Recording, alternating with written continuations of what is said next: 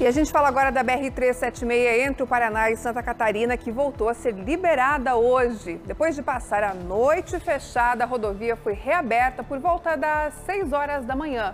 O trecho interditado no quilômetro 669, em Guaratuba, é o mesmo onde um desmoronamento deixou dois mortos em novembro do ano passado. Com a pista liberada, motoristas enfrentaram congestionamentos de até 28 quilômetros no sentido Curitiba. No sentido Florianópolis, a fila chegou a 15 quilômetros. A concessionária responsável pelo trecho reforçou que segue acompanhando todo esse tempo na região. Em caso de chuva forte, a BR-376 pode ser fechada novamente, então está aí o alerta para os motoristas. Nós continuamos falando das estradas. O alerta agora é para restrição, né, para circulação de caminhões pesados na 277 entre Curitiba e o litoral do estado.